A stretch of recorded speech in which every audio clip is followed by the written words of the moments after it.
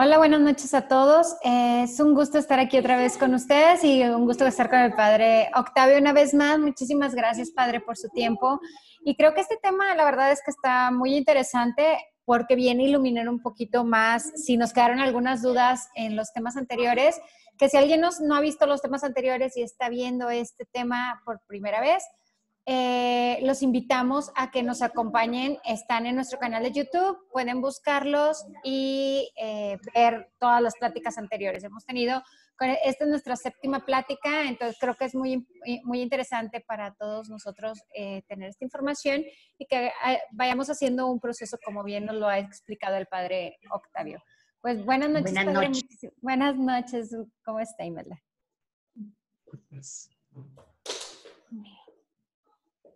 Bueno, buenas noches, padre. Bienvenidos todos. Eh, ya, ya empiezo, sí, ¿verdad? Yo estoy aquí tratando de ver también este, la presentación. Bueno, pues estamos aquí de nuevo, me da mucho gusto. Este, ya como habíamos comentado, hemos dado una visión global a lo que aparece claramente como creencias, vamos a decir así, que no están de acuerdo con la Sagrada Escritura ni con el Magisterio situaciones eh, condenatorias, no estamos a favor ni en contra, ya lo comentamos. Todos los temas que se han realizado anteriormente eh, tienen que ver con negaciones, o sea, la iglesia no condena, no se dice que favorece, ni mucho menos.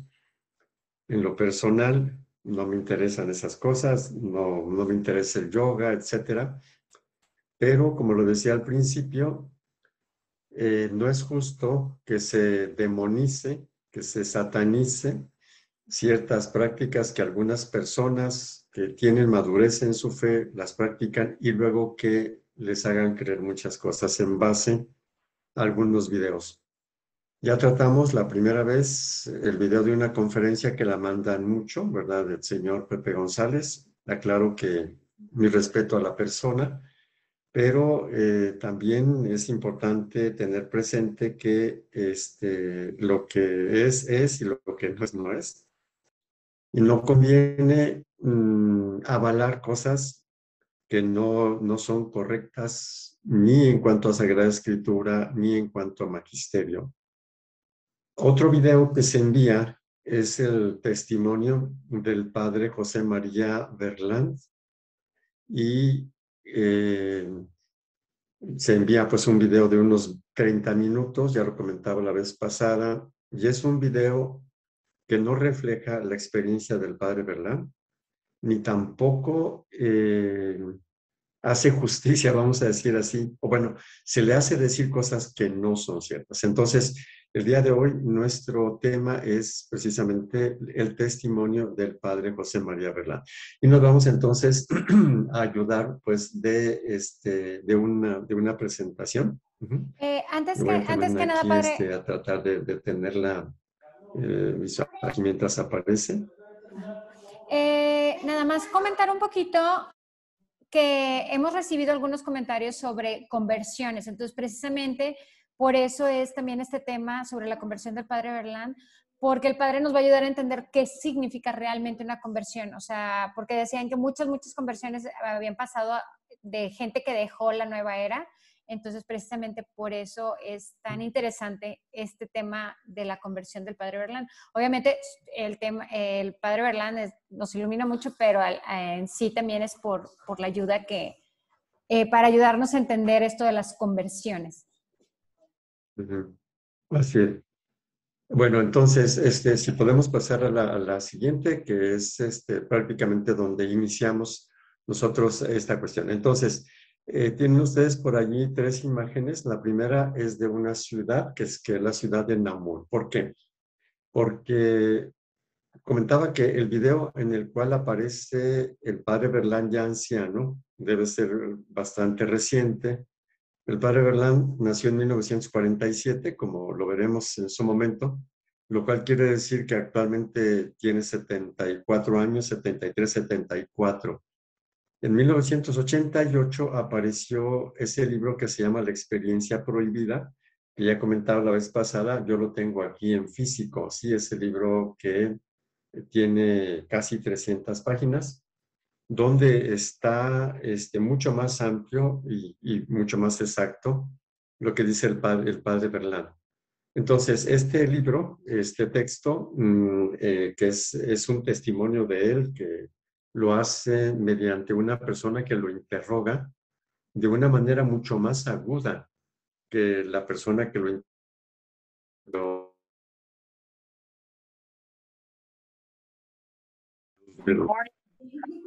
Padre, creo que sí. Me, sacó un poquito, un segundito, ¿verdad? De, la presentación. Ok.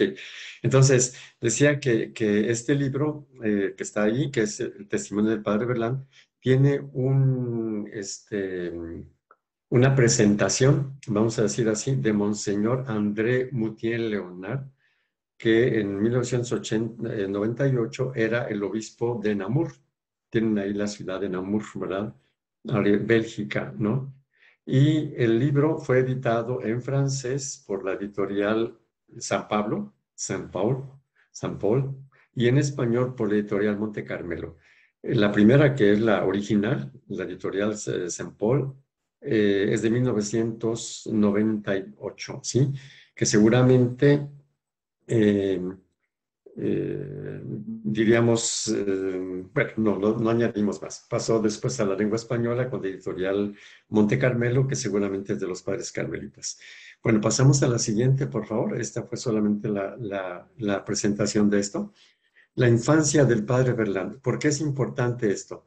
Porque no se entiende la conversión del padre Berland, ni tampoco se va a entender el momento en el que él este, decide regresar a Bélgica después de haber estado tres años con el gurú, con un gurú, ¿sí? Este, que fue el gurú de los Beatles y, le fue medio mal con los Beatles. Pero bueno, este, entonces el padre, ¿verdad? Nace en 1947 de familia cristiana. Su papá, pues, era fundamentalmente un obrero. Fueron, eran pobres al principio. Eh, después el papá regresó, bueno, trabajaba para su papá, para el abuelo del padre, ¿verdad? Eh, después él hace su propio negocio y, las cosas mejoran. Su mamá, piadosa, aunque también reservada, y fue su principal catequista. Ya desde entonces, bueno, él este, de niño era muy fervoroso, amaba muchísimo la Eucaristía, dice que, que de niño se extasiaba con la Eucaristía, ayudaba a la misa y que incluso a veces estaba tan extasiado con la consagración que se le olvidaba tocar la campanilla, ¿sí? Entonces, y desde entonces él se sentía llamado al sacerdocio, ¿sí? Pero dice, nadie me ayudó a, eh, pues a desarrollar o, a responder a esta vocación. Pero bueno, aquí lo que, lo que interesa era un niño muy fervoroso y era sobre todo devoto de la Eucaristía. Pasamos a la siguiente, por favor. El problema empieza en la adolescencia, ¿sí? Este, y aquí es donde me voy a basar en, eh, va a haber bastante texto porque quisiera ser fiel al libro, o sea, a lo que está escrito, a lo, que dijo literalmente el padre Berlán, ¿sí? Entonces, el problema fue la adolescencia y él dice que se le plantearon nuevas y exigentes preguntas que hicieron que el tema de la vocación pasara a segundo plano. Y del lado derecho, este, siempre que ponga comillas, es porque se trata de un texto literal que tenemos en el libro. Él dice, me debatía intensamente entre la experiencia que había tenido de un Dios cercano, tierno y misericordioso y los fantasmas de una conciencia culpabilizada por sus superegos. Antes de continuar la lectura, esto de sus superegos, lo pongo en negrita y en cursiva, es porque esa es una expresión freudiana, ¿sí? Este, en, la psicología de Freud, el, el super yo son, son las normas eh, interiorizadas, vamos a decir así, ¿sí?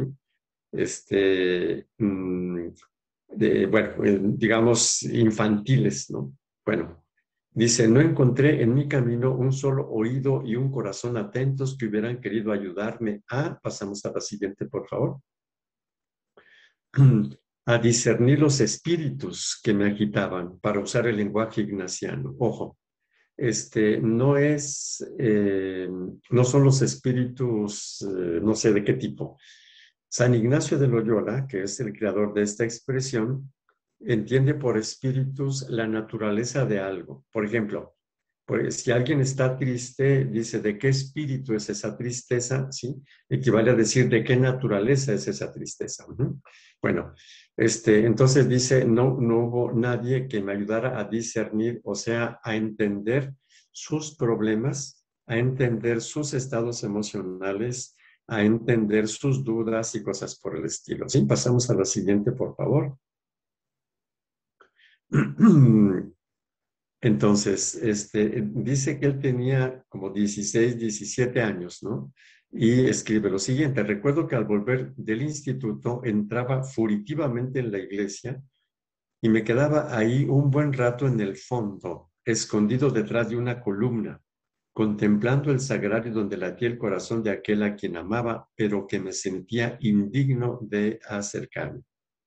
Poco a poco, cansado de esta lucha desigual y sin salida, eh, me fui debilitando, ¿verdad? O sea, mi fe se fue debilitando y mi práctica se convirtió en la expresión de una religiosidad un tanto mágica y supersticiosa, con la que intentaba ganarme a un Dios que se había vuelto lejano porque ya no me atrevía a acercarme a Él. Entonces, queda muy claro, de niño tenía mucha cercanía con Dios, entra la adolescencia, quién sabe qué tipo de problemas habrá tenido, que él se sintió rechazado por Dios. Y por eso dice, entraba en el templo y me quedaba hasta atrás, ¿verdad? Porque no me sentía digno de acercarme. Y pasamos a la siguiente, por favor.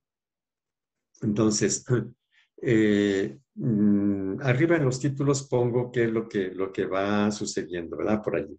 Entonces, mm, Dice, en la universidad no podía responder a las ideas de ciertas corrientes filosóficas, Marx, Nietzsche, Freud, y poco a poco llegué a la conclusión que para asumir plenamente mi humanidad y vivir de manera responsable, tenía que soltar las muletas de la religión, hasta que un domingo decidí ya no ir a misa. ¿sí? Dice, la Eucaristía seguía siendo para mí un momento intenso, por eso esta decisión de no ir ya a misa fue un verdadero desgarrón, dice así el texto, ¿sí? Pero dice, pero me parecía que ese era el precio de la libertad. Fue en este estado que encontró el cartel en el que aparecía que la meditación trascendental se ofrecía como un camino rápido y fácil. Pasamos a la siguiente, mientras pasamos, señalo esto, sí, es decir, este, el grande problema fue la crisis de la adolescencia en la que se creyó, eh, digamos así, como rechazado por Dios, ¿sí? Bueno, eh, dice, hoy, eh, perdón, le preguntan, aquí quiero, quiero recordarles, en el texto está, están preguntas muy agudas, ¿sí? Hay alguien que le está preguntando ahí y le pregunta, ¿cómo se hace uno adepto a la nueva era? Y él responde con palabras textuales, hoy por elección. Uno se hace adepto por elección, porque cree encontrar en ella una respuesta a sus preguntas y a sus necesidades. Pero lo que hoy es un movimiento relativamente estructurado, en la época en la que yo me adhería a él, o sea, hace unos 30 años, se presentaba únicamente bajo vagas proposiciones consideradas con mucha frecuencia como originalidades, o sea, como extravagancias. Yo entré en ella a través de las meditaciones orientales que empezaban a extenderse por el mundo occidental, más en concreto mediante la meditación trascendental fundada por el gurú Maharishi Mahesh Yogi. Me inicié en esta técnica de meditación perteneciente a la tradición védica del hinduismo, que se presentaba como un camino sencillo, fácil y eficaz para alcanzar esos estados de conciencia que llevan a la plena realización de uno mismo. Si la memoria no me engaña, estábamos en 1969. Quiero decirles que el padre Berland es solamente dos años mayor que yo. Por lo tanto, el 69, el 68, 1968, es un tiempo muy, muy claro, es un tiempo muy especial que conozco muy bien, ¿sí? Y lo que quiero subrayar, por eso lo puse aquí en negrita y en este, cursiva, es porque, eh, mm, digamos que ante una, ante una situación sin respuesta, como, como un pozo sin salida, que es muy, muy dura esa experiencia, ¿sí? y él ve un cartel ahí en el que se ofrece un camino fácil y sencillo, él se va para allá, se va de boca. Esto es más o menos lo que dice el documento Jesucristo portador del agua de la vida, si ustedes se recuerdan, ¿sí? Dice, a muchas personas van a la nueva era porque están en búsqueda de una respuesta que los católicos no damos. Y pues entonces pasamos a la siguiente diapositiva. ¿sí? Dice, ¿cómo se encontró con el Oriente? Dice, lo que me atrajo fue la propuesta de una técnica que permitía entrar en unos niveles de conciencia profundos. Al no, haber encontrado respuesta a mis interrogantes, a mis aspiraciones en los grandes debates filosóficos políticos de aquel tiempo, estamos en 1969, buscaba otro camino por el, por el que embarcarme en busca de sentido. Parece ser que el letrero que encontró en inglés, ¿verdad? Lo, lo presentan por ahí, sería respuesta a todas tus preguntas. Relajación simple y natural sin ningún esfuerzo. Este, dicho sea de paso, esto no es solamente cuestión de las religiones orientales o, o, no sé qué cosa. Esto también mucha gente lo busca en la Iglesia Católica, ¿sí? Una solución fácil y rápida. Y bueno, este, vamos a ser un poquito críticos a esto. Sí, pasamos a la siguiente, por favor. El padre Berlán eh, narra, aquí ya no pongo los textos para no ser así muy largo, narra que cuando vio eso y vio la meditación trascendental, se informó que era la meditación trascendental y él empezó a practicarla solo, pero como que no le atinaba mucho, lo intentó muchas veces, medio se embotó y le salió peor. Dice que ya ni siquiera podía trabajar. Este, dicho sea de paso, este, él eh, terminó su carrera en eh, química nuclear, ¿sí? Trabajaba en un laboratorio, ya ni, siquiera podía trabajar. Como él intentó solo no pudo, entonces decidió ir a buscar al gurú, ¿sí? Masarishi, ¿sí? Entonces, él termina sus estudios de química nuclear y se embarca completamente en el camino ofrecido por el gurú. Él diría, el problema no son las prácticas, sino la meta de las mismas bajo la dirección del gurú.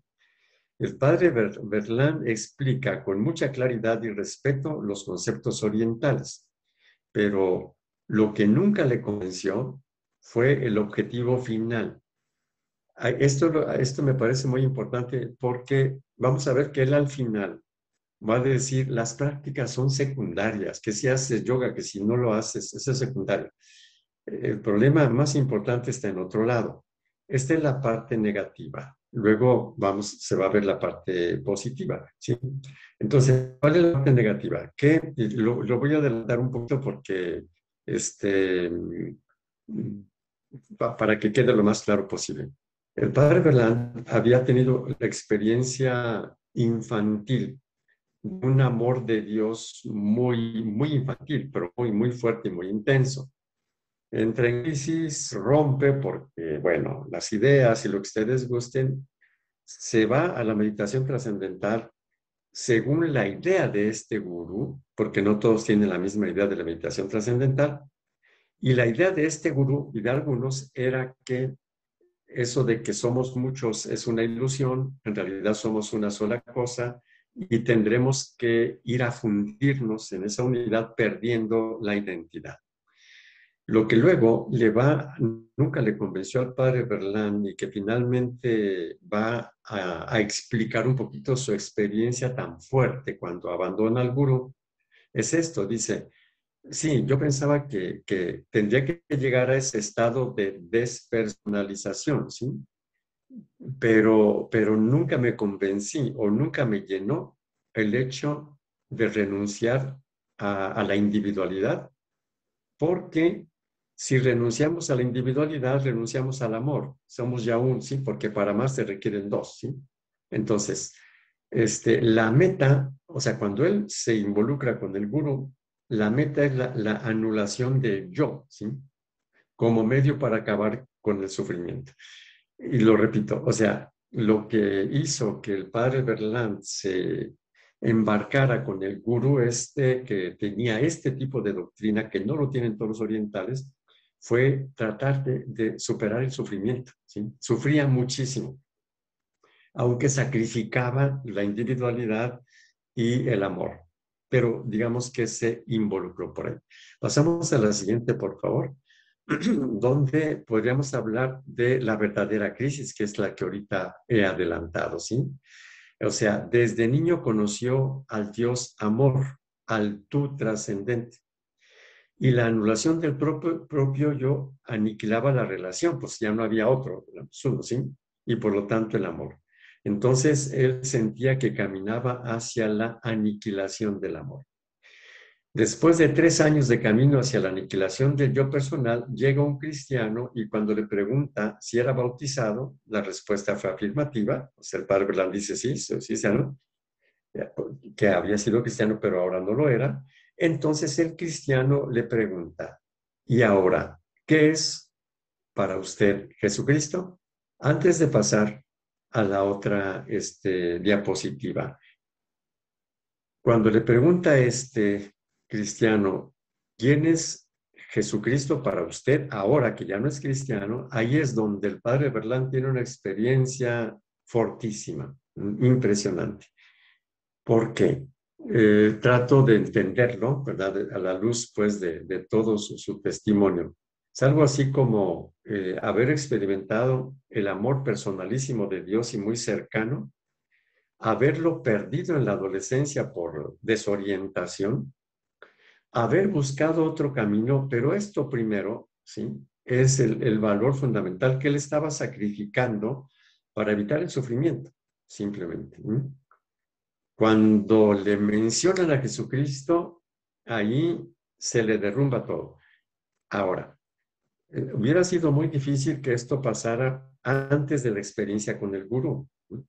O sea, este, eh, diría que la experiencia de tres años con el gurú de alguna manera hizo su trabajo de maduración para volverse a encontrar con Jesucristo, ¿sí? Entonces, este, antes de pasar a la siguiente diapositiva donde, va, donde está el texto, yo lo voy a leer, pero antes de eso, ¿cómo fue esta cuestión? Entonces, este, el padre Berlán ya se daba cuenta de algunas cosas, ¿verdad? Entonces, toda esa disciplina que tenía el gurú y todo, hacía que sus seguidores, sus discípulos, tuviesen problemas de salud, se empezaran a, este, a debilitar muchísimo. Entonces llamó a diferentes como terapeutas, vamos a decir así. Llegó uno de ellos. Lo que ellos descubrieron fue un envejecimiento prematuro, curiosamente. Es decir, que que las disciplinas que ponía el gurú estaban perjudicando prácticamente, ¿sí? Y aquí es donde yo quisiera decir lo que ya había comentado anteriormente. Un gurú es un ser humano como ustedes y como yo. No es nadie especial.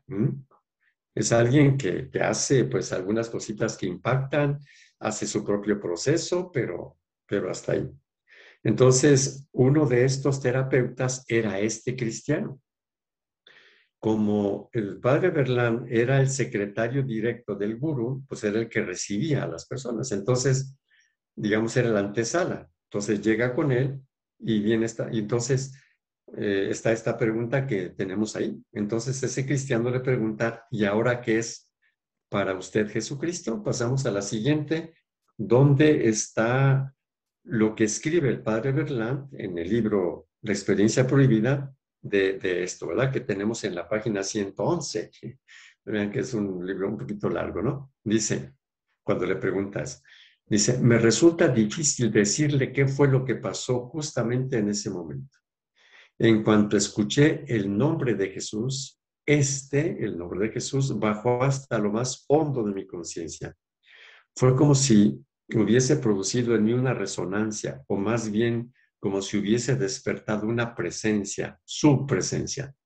Tomé conciencia de que Él estaba allí, de que siempre había estado allí, disponible, dispuesto a revelarse, no esperando más que una señal, una llamada mía para manifestarse de nuevo como mi Señor.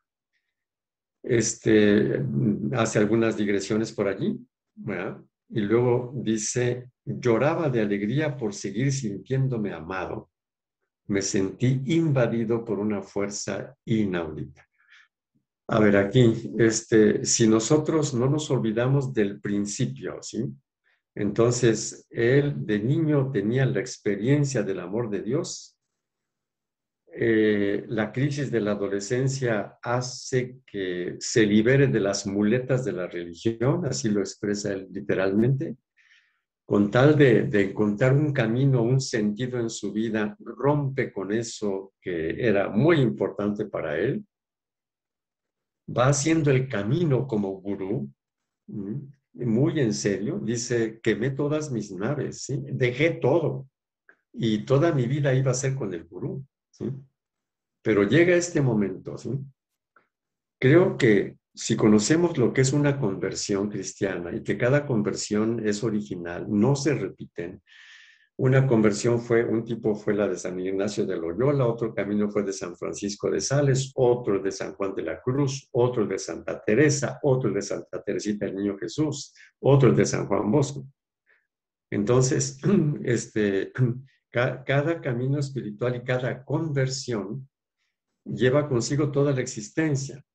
Por eso cuando recibí ese mensajito que ustedes podían ver ahí en el canal, ¿no? de que miles y miles de conversiones, decía en ese momento, las conversiones no, no son así, no se pueden entender así en masa, ni tampoco, como dice, lo vamos a ver con el padre Berlán, tampoco depende de un evento así nada más. Si que hayan asustado a mucha gente y haya dejado X prácticas, no quiere decir que se convirtió, ¿sí? Entonces, aquí entra todo, ¿sí? Entonces, él ahí, ¿sí?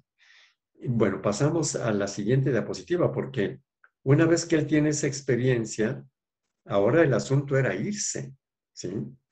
Él este, dice que sabía que partir, dice, había quemado todas mis naves, había roto todas mis ataduras con el pasado.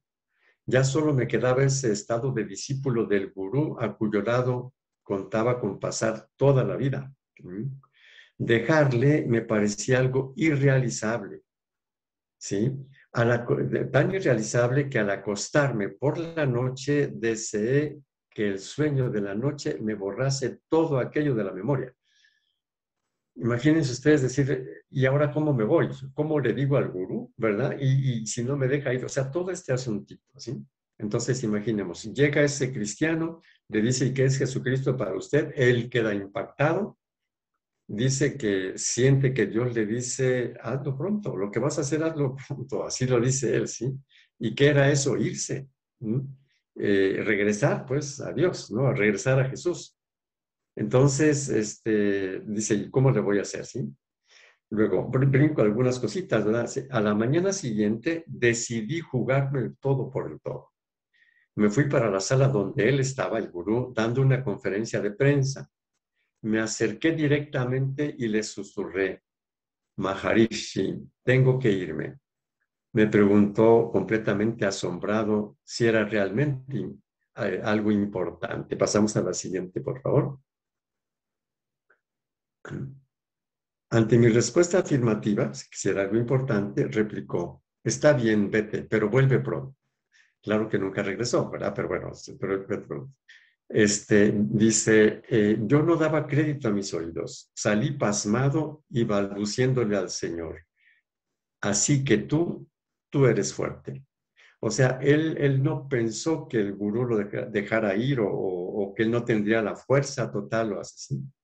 Dos horas más tarde volaba hacia Bélgica, llevando como único equipaje un maletín con un poco de ropa y la documentación. Lo dice en la página 116-117 brinqué algunas cositas, pero él dice que entonces estaba allí, pues, en, India. Este, entonces, mm, los coches que usaban estaban en el taller, eh, etc. Entonces, dice que le dice ese al gurú, sale y el encargado de los coches le dice, nos entregaron del taller el coche antes, así que él tenía el coche a disposición. Se va al aeropuerto, dice, hay lugar para, para Bélgica y dice, tiene suerte, acaban de cancelar uno, se ¿sí? Así es de que en el lapso de dos horas, después de que el padre Berlán va con el gurú y le dice, me tengo que ir, y el gurú dice, es importante, sí, bueno, pues vuelve pronto, ¿sí? Él en dos horas ya va volando para Bélgica, ¿sí? Entonces, esta, eh, mm, esta es la primera experiencia, vamos a decir así, ¿sí? Este, em, que es la de, la de embarcarse, ¿sí? En eh, es esta ideología, vamos a decir así, oriental, ¿sí? Pero luego va a haber este, otras cositas, ¿verdad? Por ahí pasamos entonces a la siguiente, por favor. Entonces, la, conclusión de esta, antes de pasar a la siguiente, ¿sí?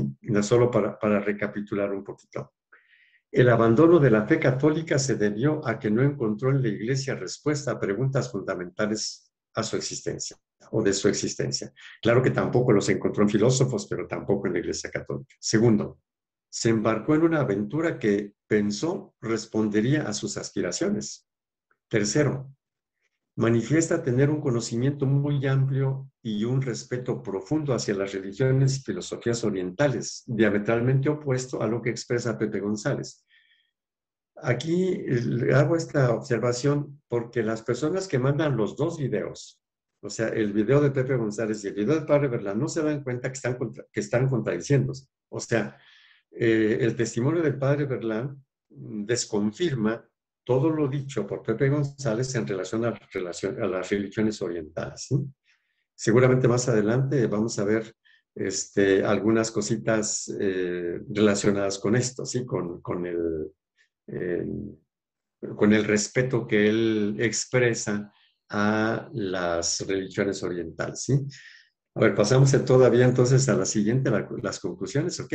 Entonces, eh, eh, finalmente intentó ir hasta la anulación de su yo, creyendo que era lo correcto, aunque nunca llegó a convencerse. Y es por eso que el solo nombre de Jesús lo conectó con su experiencia original, ¿sí? la, experiencia del, del amor de Dios. Bueno, pero entonces regresa a Bélgica dispuesto a retomar, bueno, retoma su fe cristiana, incluso retoma su práctica religiosa.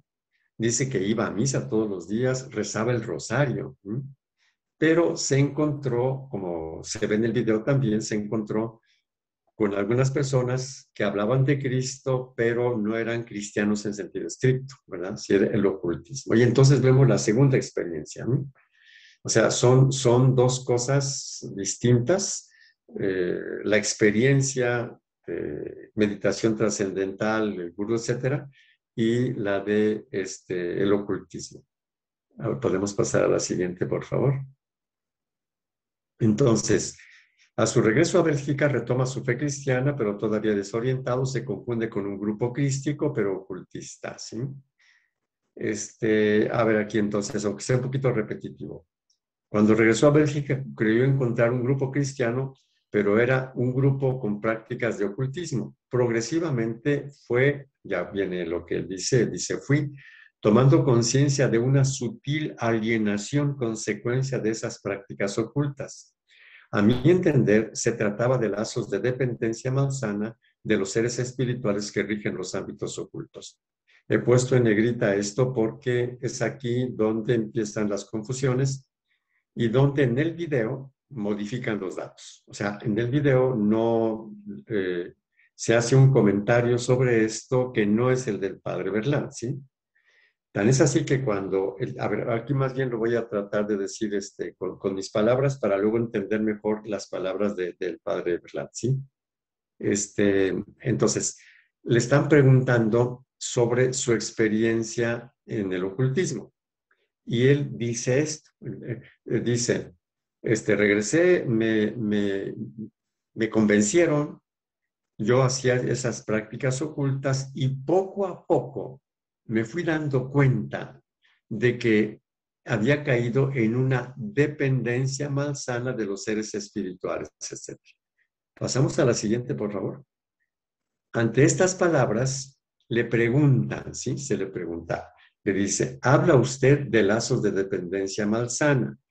¿No sería una expresión pudorosa para calificar unas prácticas diabólicas? Se lo preguntan directamente. ¿Mm? ¿Qué responde el padre Verlán? Dice, como aún no he precisado de qué práctica se trata, me sería difícil contestar a su pregunta, a no ser recurriendo al sentido etimológico del término diabolos, el que separa. Diabolos, diablo significa el que separa, etimológicamente hablando. Y efectivamente, yo creo que el estado de mediumnidad en el que se ejercen esos poderes es un estado que me separa de mí mismo de mi yo profundo y por tanto de Dios Padre, que me pone a cada momento en la existencia como ser personal, llamado a encontrarme con Él en un diálogo de amor. Por eso insistí en que lo que había perdido el padre Berlán yéndose a la India fue exactamente esto, el diálogo de amor con Dios, ¿sí? Porque era la, la aniquilación, etcétera, ¿sí? Pero aquí queda muy claro que el padre Berland, cuando habla de ocultismo, no está hablando de demonios en el sentido como lo entendemos ahora y como se lo cambian en el video. ¿sí? En el video que ordinariamente se, que le titulan de gurú a sacerdote, ¿sí? cuando el padre Berland habla de esto, ya no sigue hablando él y habla una mujer, ¿sí? diciendo que son los eh, demonios, etc. El padre Berland responde esto, ¿sí? Él dice, mm, bueno, si usted quiere llamarle diablo o diabólico el asunto, eh, después, después va a explicar de qué se trata y vamos a ver entonces el texto, ¿sí? Dice, bueno, lo voy a usar, pero en su sentido etimológico hay que separar, ¿sí? Entonces, ¿en qué consistía esa alienación que él se fue dando cuenta que se iba dando en su mediumnidad? Que vamos a ver qué es eso de, de ser un medium, ¿sí? Este, dice, este, eh, esa alienación es que me separa de mí mismo, de mi yo profundo, me divide por dentro, ¿sí? Y por lo tanto yo ya no puedo amar a Dios, ¿ok? Entonces no es del el demonio como lo entendemos nosotros. Pasamos a la siguiente. Más adelante, en las páginas 50, por favor, sí, donde, donde estabas, por favor.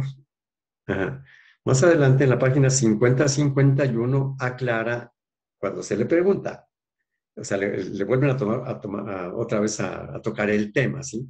Dice el que pregunta, me gustaría volver a hablar de esos ejercicios psicofisiológicos que preparan para la meditación.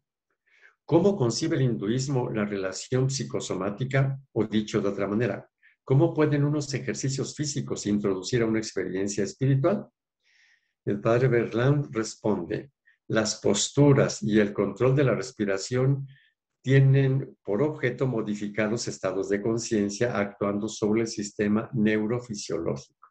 En realidad, la cosa no es tan clara, pues esa acción tendría lugar en el ámbito de las energías sutiles que se supone que recorren nuestro cuerpo. Eso respondió el padre Berlán. Vean ustedes que él responde con sería, tendría lugar. Eso es lo que le va a preguntar la persona. Pasamos a la siguiente, por favor. le dice, habla usted en condicional, ¿verdad? Tendría, sería. ¿Acaso está poniendo en duda lo que, lo que cuenta? Se le dice, ¿por, ¿por qué está hablando usted en condicional? ¿Sí? Entonces el padre Berlán responde, me veo obligado a hablar en condicional porque tenemos pocos medios o ninguno para comprobar las teorías que se han propuesto acerca de esas energías sutiles que podemos llamar ocultas. o sea, el padre Berlán dice, pues eso es lo que ellos dicen, pero no hay, no, no, hay, no hay modo de comprobarlo, ¿sí? Es lo que ellos dicen, ¿sí? Con esta expresión quiero referirme a toda clase de energías o de fuerzas naturales que producen un efecto constatable pero que al menos por ahora no puede ser medido, dominado o controlado mediante la ciencia física, química o biológica. De hecho, las llamamos energías o fuerzas por analogía con la mecánica, que designa con esos términos las causas de los fenómenos que estudia. Pero en realidad no sabemos prácticamente nada de ese ámbito oculto, a no ser lo que nos dicen las escuelas esotéricas y las tradiciones orientales, de las que el esoterismo saca con frecuencia sus informaciones. Este, hay más textos sobre esto y bueno, ahorita tendría que acordarme si los puse, ¿verdad? donde el padre Berlán dice, este, eh, es lo que dicen ellos. Nosotros no nos consta, ¿sí? Tranquilamente, ¿sí? Pasamos a la siguiente, por favor, porque sí, todavía sigue especificando eso, ¿sí? Por eso pongo arriba, las ciencias ocultas son ciencias. Entonces, quien pregunta, está preguntando, le dice, usted parece insinuar que el Oriente es experto en ciencias ocultas, ¿sí? Este, que siempre le entiende medio mal el que pregunta, pero bueno. El padre Berlán responde, antes que nada, permítame una palabra sobre este término de ciencias ocultas. Para que una disciplina merezca llevar la etiqueta de científica, ha de responder a ciertos criterios metodológicos a los que el ocultismo no responde. Uno de esos criterios podría ser la objetividad que llamamos baja, que exige que cualquier experimentador que aplique el mismo protocolo, es decir, que realice las mismas operaciones de, medida eh, en idénticas circunstancias, obtendrá los mismos resultados. Este criterio está lejos de cumplirse en el ámbito del ocultismo. O sea, el ocultismo no tiene ninguna base objetiva. Eh, la vez pasada, la semana pasada, cuando hablaba yo de los exorcismos, les presentaba algunas experiencias personales. Y, en, en, efecto es así. Muchos o esos fenómenos extraños, como los que señalaba la semana pasada, ¿no? Cuando según eso espantan o que hay energías, depende cómo uno lo afronta. En lo personal, cuando lo afronto así, interrogando personas y veo cómo cada persona tiene experiencia distinta del mismo fenómeno. O cuando también eh, he encontrado personas que ya no saben qué hacer con la Ouija porque ya, ya, no, ya, ya se, se embotaron allí. Les digo, pues tráemela, yo la, yo la destruyo. O sea, si tú ya, tú ya no sabes qué hacer con ella, yo sí sé qué hacer con ella. Tranquilamente, es un pedazo de madera. Y pues se, se destruye facilísimamente, ¿sí? Entonces, aquí este, es donde está el asunto ese que comentábamos anteriormente sobre esa frase de que la psique humana, no sé qué, como si la psique humana fuese igual en todos. Habíamos comentado que no. Y aquí una de las cosas que estamos viendo con el padre Berlán es que él hizo un proceso. No es lo mismo el padre Berlán adolescente que se va de boca con un letrerito sobre un método fácil para alcanzar la conciencia y el padre Berlán, después de estos años, ¿verdad? De maduración, en el que se hace más crítico, ¿verdad? Y, este, y, va, va, entendiendo este asunto, ¿sí? Entonces, este, si, si una persona cree que otra tiene poder oculto, pues va a sentir que tiene poder oculto, ¿sí? Pero todas las veces que yo he interrogado a diferentes tipos de personas, no solamente en cuestiones negativas, también personas que se dicen videntes y que están rodeadas de gente que les está ahí, ¿sí? Nada más les hago un, tres, cuatro preguntitas y se descuadran completamente, ¿sí? Bueno, entonces esto es lo que quisiera señalar. Entonces el, padre Berland lo dice muy, muy claramente. Pasamos a la siguiente, por favor. Este, que sigo todavía con este texto, ¿verdad? Él, sí, él dice página 51-52. El hinduismo no ha sistematizado sus conocimientos en el campo de las energías sutiles, distinto de energías ocultas. Eso de oculto lo dicen los medium. Energías sutiles, pues es que son, no, se pueden pescar, pero pues, las tenemos todo el tiempo, ¿verdad? Dice, el, hinduismo no ha sistematizado sus conocimientos en el campo de las energías sutiles como lo han hecho los esotericistas o los esotéricos occidentales. Sin duda alguna, por la sencilla razón de que entre ellos ese conocimiento está totalmente supeditado a una finalidad espiritual mística. La utilización de esas energías en orden a conseguir un resultado práctico es una desviación occidental. ¿sí? Este, en las páginas 54, 58, perdón, ahí está 48, hace una descripción de los tipos de yoga y kundalini para los orientales y vuelve a insistir. Volvemos a encontrarnos con ese problema de la objetividad en el campo del ocultismo, cuyas técnicas están aquejadas de un coeficiente muy fuerte de subjetividad, o sea, carece de objetividad. Por eso aquí decimos, pues si yo me la creo como individuo, pues yo funciono de un cierto modo. Aquí es donde está, eh, muy, es muy importante la madurez espiritual, la madurez humana, la fortaleza mental, ¿sí? Y esa fortaleza mental se obtiene siendo objetivos, en lo posible, claro. Y pasamos a la siguiente, por favor. Entonces, él, eh, bueno, le preguntan, ¿quiere usted insinuar con eso que Oriente se pierde en su búsqueda de Dios? Cuando él está hablando de la aniquilación y cosas por el estilo, ¿no? Dice, yo nunca me permitiría hacer un juicio así.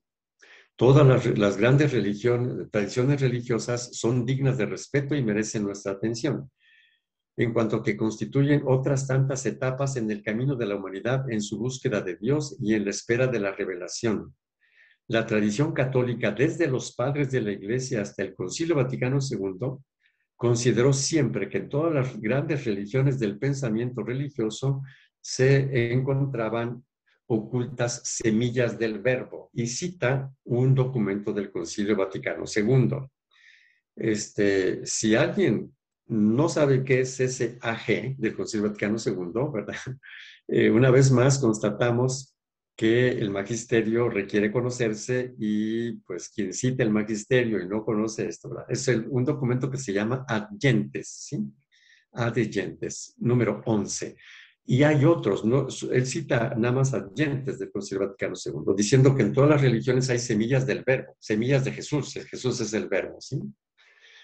La búsqueda auténtica de Dios que se pone de manifiesto en las grandes tradiciones del Oriente no se extravía cuando se deja guiar por el Espíritu e instruir por esas semillas del Verbo.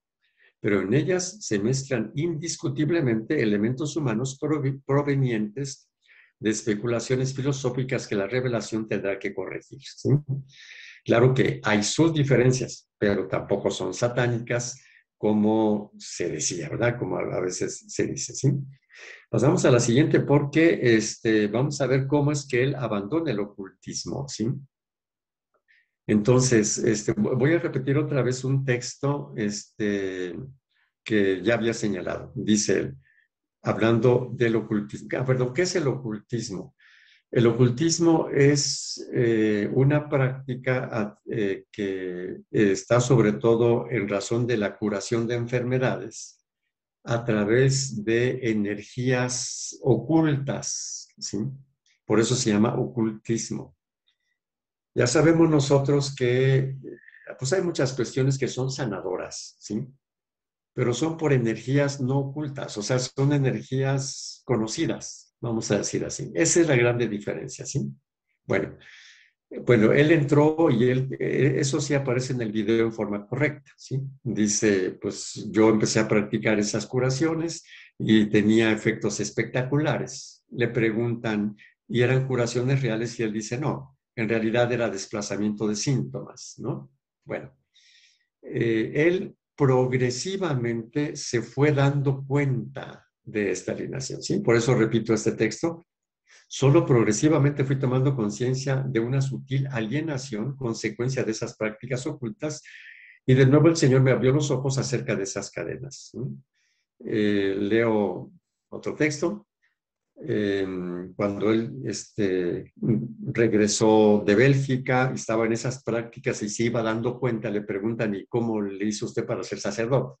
¿O, o, o en qué momento le regresó la vocación sacerdotal, ¿sí? Y él responde, a pesar de todo lo que iba viviendo, la llamada al sacerdocio iba madurando en mi corazón desde que volví de la India. Decidí abrir mi interior a la iglesia y tomarme esta vez el tiempo y los medios necesarios para integrar todo lo que había vivido en el horizonte de la propuesta de sentido que ofrecía el Evangelio. Tendría ocasión de hacerlo holgadamente durante los 10 años de estudio de filosofía y teología que iba a hacer. Estos años me llevaron al seminario de Aviñón, 1976-1978, a la Universidad Gregoriana de Roma, 1978-1982, y un poco más tarde, o sea, después de su ordenación sacerdotal, que fue en el 83, a la Universidad de Lovaina, de 1985 a 1987. A ver, aquí, eh, si de veras hubiese sido una posesión diabólica y que si con el exorcista, no sé quién, que en el, en el video no lo dice el padre Fernando, lo dice el narrador, ¿no? que va a la sacristía y que era, un, era el exorcista de la No aparece para nada. La narración del padre Berland, el testimonio del padre Berland es muy, muy clarito. O sea, él regresa de Bélgica después de esa experiencia fuerte, ¿no? De, de, encontrarse otra vez con Jesús, que eh, eh, practica su religión cristiana sin animarse mucho a, a acudir a verdaderos directores espirituales, se encuentra con los ocultistas confundiéndolos con cristianos, pero sigue yendo a misa, rezando el rosario, ¿sí? Este, y poco a poco se va dando cuenta de eso. Ya que, ya que se da cuenta después de dos años, abandona el ocultismo y entonces va a la iglesia, su vocación, y entonces dice, holgadamente, fui a dirigirme otra vez, ¿sí? Lo subrayo por dos razones. Primero, porque no es verdad lo que muchos dicen que, que él dejó eso por exorcismos y por no sé qué cosas. Y la segunda, porque un proceso espiritual no es una cosa este, rápida ni sencilla, ni, ni, mucho menos. Es un proceso realmente. La conversión es un proceso serio. Pasamos a la siguiente, por favor. Y aquí entonces unos conceptos, ya veo que el tiempo va muy rápido, ¿sí? Entonces, eh, a lo largo de, del libro, ven aquí este texto, está en la página 150 del libro La experiencia prohibida, este, ya eh, él presenta conceptos centrales. ¿sí? Él dice, la característica principal de la mística sobrenatural es la gratuidad. ¿Qué, ¿Qué, entiende él por mística sobrenatural? La espiritualidad cristiana. Y por mística natural, una sobrenatural y otra natural, es, son los principios humanos, ¿no? De, sí, que, sí. Entonces, dice, la principal característica de la mística sobrenatural es su gratuidad.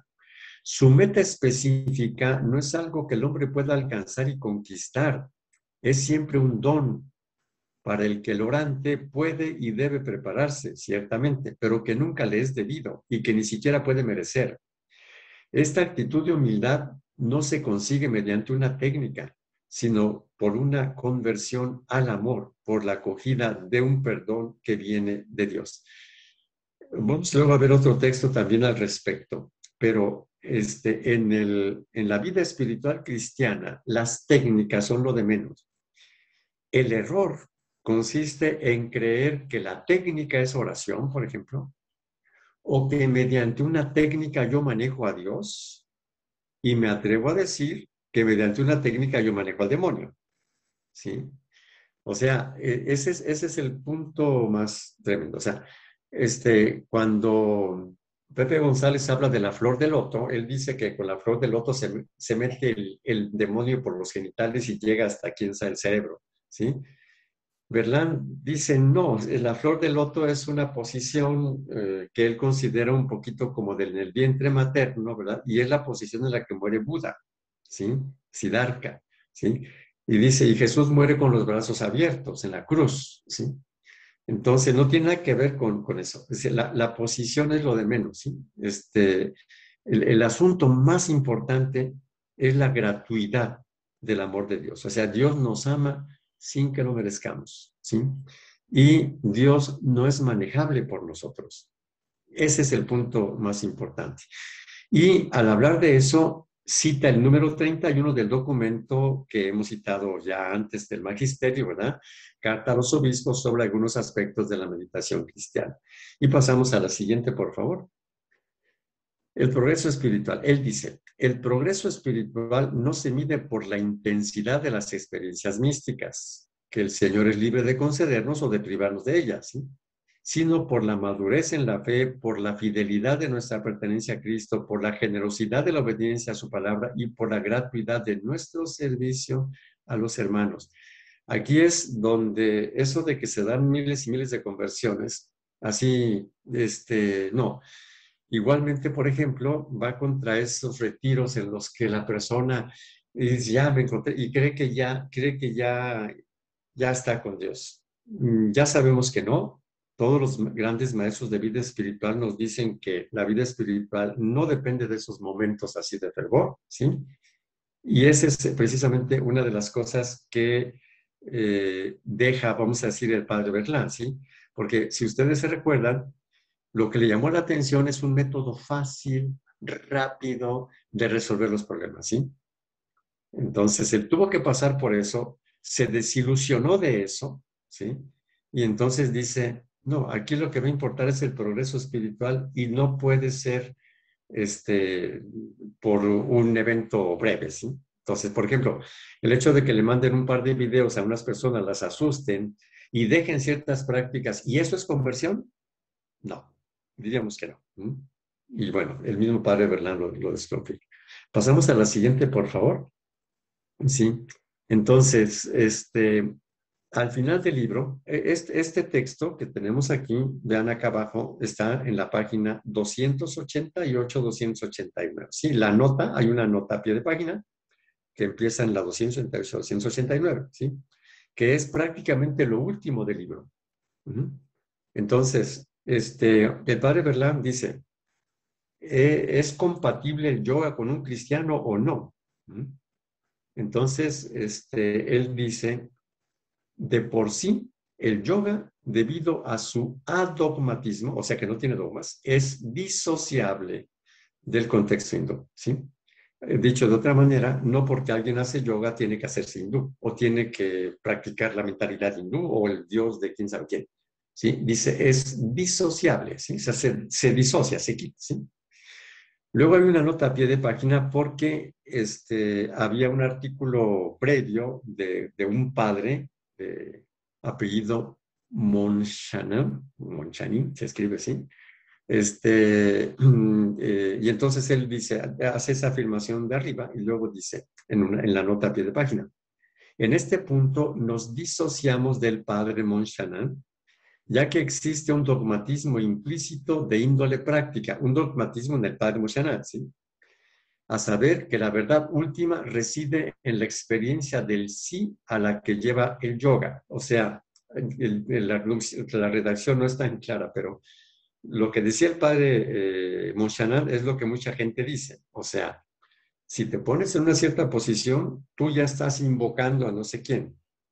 Entonces el padre Berlán dice, ese es dogmatismo. O sea, eso es un, o sea, lo dice alguien, ¿sí? Yo me recuerdo muy bien la primera persona que me dijo eso. Dice, no, mire, es que cuando usted toma esa posición, usted está adorando a no sé quién, porque los orientales, este, cuando se ponen así, bueno, claro que yo ahí digo, bueno, eso ni desde el punto de vista cristiano, ni desde el punto de vista antropológico, filosófico, ¿sí? se sostiene en absoluto. ¿Cómo es que gente que está quién sabe dónde, qué, poder tiene sobre uno y cosas por el estilo, ¿verdad? Entonces el padre ¿verdad? dice, pues es dogmatismo, ¿sí? Eh.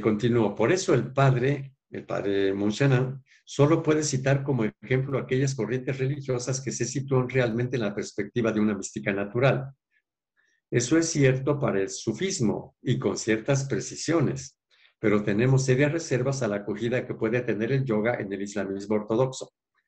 Dicho de otro modo, este, aquí este, resumo mucho, pero dice, a ver, si uno dice que el yoga hace que tú adores a no sé quién, te olvidas de que en Oriente hay muchas formas, no solamente esta.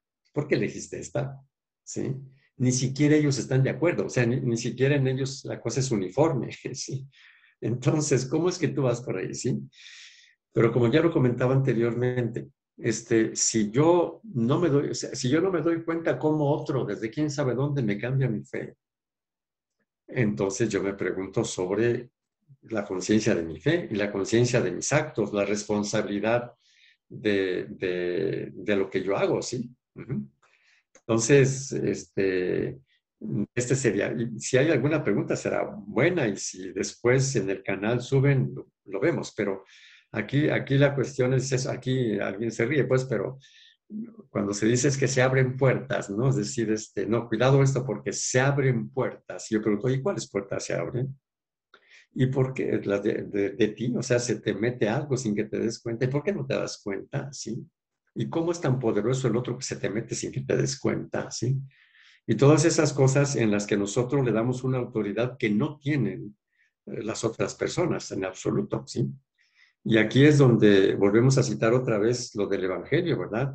Tomarán serpientes en sus manos, no les pasará nada, tomarán venenos y no les hará nada, ¿sí?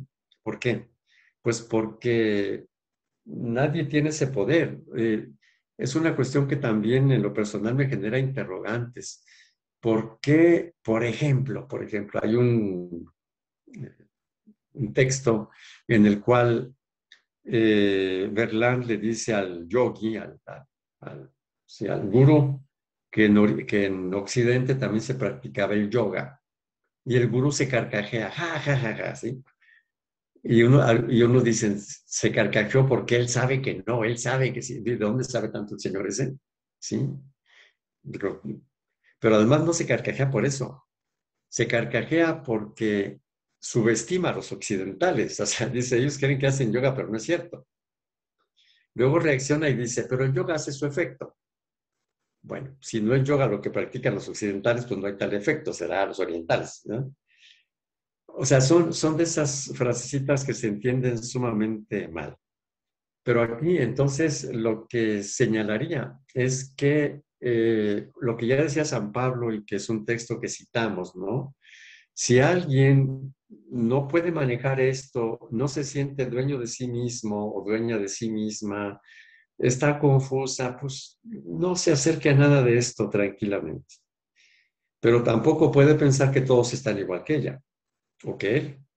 Eso es lo, lo, sí. Habrá gente que es muy consciente de sí misma, muy dueña de sí misma, ¿verdad? Por eso la grande pregunta sobre la psique humana. No, es que la psique humana va a estar según el camino que has hecho. El padre Berland no era el mismo cuando era adolescente a cuando empezó su carrera sacerdotal, ¿verdad? O sea, absolutamente no. Su psique, entre comillas, no es la misma, ¿verdad? Y bueno, pasamos a la siguiente, que la final, o sea, nuestras conclusiones, y no sé si haya por ahí alguna intervención, ¿verdad? Entonces, a la luz de la experiencia del padre Berlán, decimos lo siguiente. La necesidad de entender y realizar un camino espiritual válido sin creer que manejamos a Dios, al demonio o a las energías ocultas es un primer reto. Su primer reto es entender que un camino espiritual no se da en base a una experiencia sola, este, y la gratuidad. El, el gran reto del camino espiritual es la gratuidad. Yo no manejo a Dios, tampoco manejo al demonio. Y si estoy con Dios, el demonio no tiene fuerza. Y las energías ocultas, solamente los que dicen que son ocultas. Hay una palabrita sobre el medium es ese. Un medium es alguien que considera que maneja energías ocultas. Y de hecho, los ocultistas más abiertos dicen, pues todos hacemos eso, más o menos. ¿sí? Algunos lo hacen sin darse cuenta y cosas por el estilo. Segunda conclusión, eh, la diferenciación entre oración auténtica y ejercicios de preparación para la oración o simple relajación. No es lo mismo. El siguiente, el, segundo reto es diferenciar esto, ¿sí? Este, entonces, algunas personas hacen yoga por salud, o sea, no, ¿sí? Ya así que les dice, pues invoquen a Dios como creen en Él, pues van a invocar a Jesucristo, o sea, no, no van a invocar a nadie más, ¿sí? Este, otras personas lo hacen como para prepararse a orar, el problema es que alguien crea que porque está haciendo ejercicios de relajación ya está orando. Ese es el problema, ¿sí?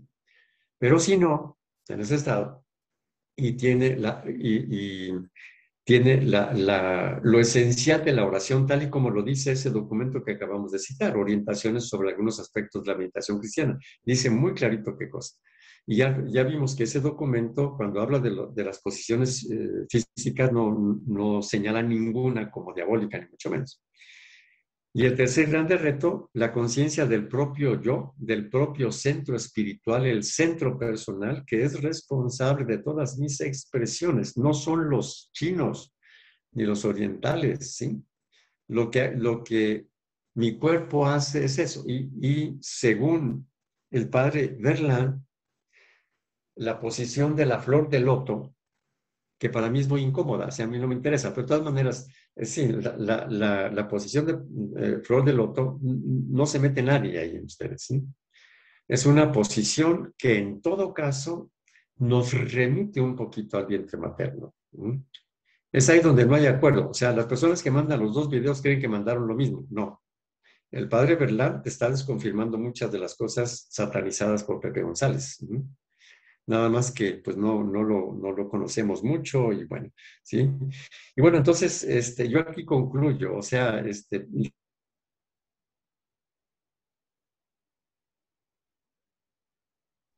sacó otra vez. Otra vez, padre. Y me, y me volvió a meter, ¿verdad? Qué bueno, ¿sí? Entonces, este, no sé qué tan claro aquí, Gisela, que tú tienes un pensamiento crítico y cuando algo no es claro lo preguntas, lo aclaras, o si hay alguien por allí que, este, que haya preguntado algo o fue, digamos así, suficientemente claro. Eh, Marichuy Herrera nada más le manda saludos, padre. Dice buenas noches, padre Octavio. Y yo creo que la verdad es que sí es muy, muy claro. Eh, y yo creo que volvemos al punto inicial, padre. Digo, a mí me quedó muy claro, ¿verdad? Eh, creo que volvemos al punto inicial de que también, o sea, lo más importante es la evangelización porque así como estamos hablando de, las, de esta, todas estas ciencias, de las ciencias ocultas y que la gente cree que son como mágicas, a veces hasta en la misma religiosidad católica caemos en, esta, en este punto mágico que creemos que por tener un rosario en la mano y por decir, decir con nuestra boca un Padre Nuestro y diez Ave Marías, ya estamos realmente acercándonos a Dios. O sea, yo creo que todos los que hemos visto gente que ora realmente con el rosario o que ora con la Biblia, eh, a veces sentimos precisamente ese, como ese llamado de decir, tengo que hacer algo más. El problema es que luego por esta falta de evangelización nos vamos por otros caminos o buscamos las respuestas en lugares incorrectos o queremos como satanizar eso para quitarnos la culpabilidad de lo que no hacemos realmente en nuestra religión. Creo que que nosotros como católicos, mucho más ahorita por el tiempo litúrgico en el que estamos, tendríamos que estar haciendo propósitos de año nuevo litúrgico, de, acercarnos un poquito más, de evangelizar, de dar un poquito más de nosotros, porque la verdad es que con esta experiencia del Padre Orlán, la verdad a mí me conmueve mucho porque digo, o sea, un niño tan devoto de niño, o sea, tan con una experiencia tan, tan cercana o sea, le, le, llegó a pasar esto, ¿qué pasará con nuestros niños que están tan lejos? O sea, eh, los, los, estamos dejando como a la buena de Dios.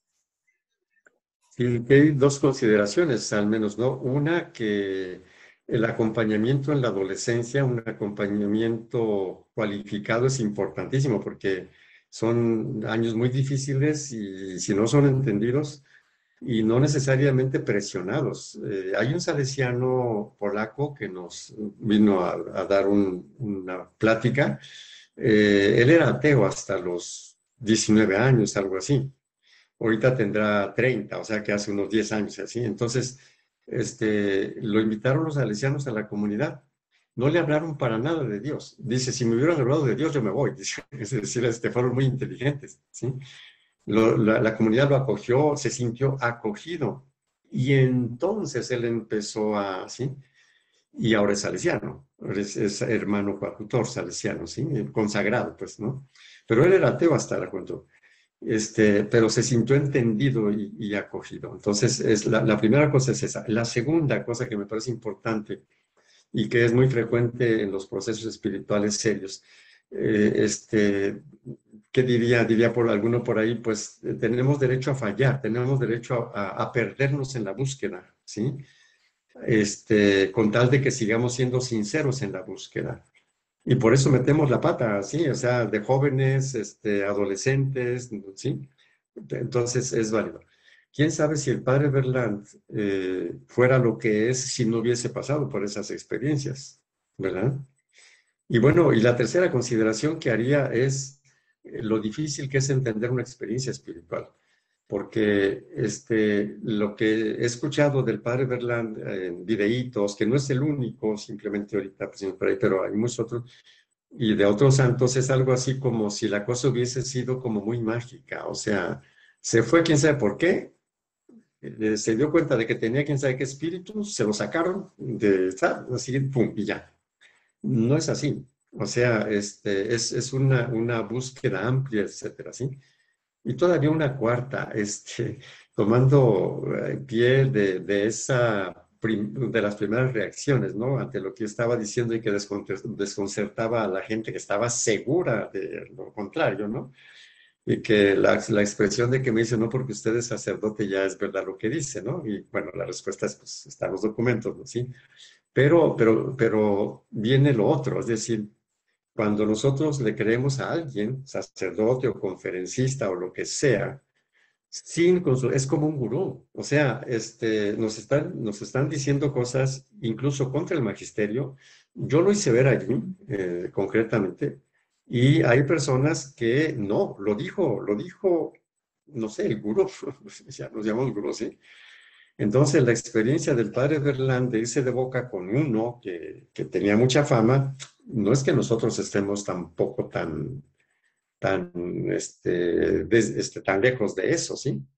Por eso en lo personal, siempre que alguien me pregunta, oiga, es que dicen esto, ¿usted qué dice? Le digo, mira, lo que yo diga es lo de menos, ¿sí? Este, yo lo que me parece más importante es presentarte eh, datos, sí, objetivos, no opiniones personales. Y claro que yo te acompaño con mucho gusto y claro que tendré mis opiniones, pero, pero no nos vamos a basar mis opiniones. Y por eso es que la vez pasada este, presentaba los, los documentos del magisterio y, pues naturalmente que se veía la necesidad de, de, conocerlos, ¿verdad? Que sí, de veras yo escuché mucha gente que hablaba del magisterio como si lo conociera, sin darse cuenta que va contra él. O sea, es, es impresionante realmente. Pero bueno, no quiero alargarme más, no sé si hay alguna reacción todavía.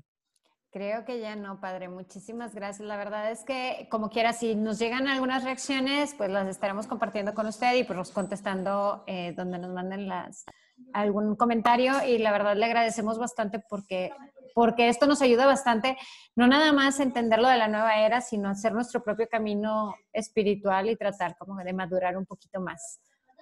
Imelda, ¿querías decir algo? Nada más agradecerle al Padre Mm. Siempre que le escucho es una de excelencia, ¿verdad? Nos dio la conferencia a las mamás catequistas. Yo soy mamá catequista del, Carlos Gómez de San Luis Potosí, padre. Excelencia, siempre. Ah, pues muchísimo gusto, muchísimo gusto y muchas gracias. ¿eh? Muchas padre, siempre que veo una conferencia, padre Octavio, ahí estoy. Gracias, padre. Y gracias, Gisela. Gracias, Gisela. Qué hermosa, Imelda. Bueno, y les recordamos que las demás pláticas del Padre de este ciclo de la nueva era, del apocalipsis, de precisamente de la vida espiritual, están en nuestro canal de YouTube. Las bienaventuranzas también están en, en nuestro canal de YouTube. Y eh, si tienen alguna duda, algún comentario, no duden en hacérnoslo llegar. Muchísimas gracias, Padre. Muchas gracias por todo. Gracias a ustedes, gracias y que tengan buenas noches. Gracias. Buenas noches, que descansen. Igualmente, gracias. igualmente, gracias.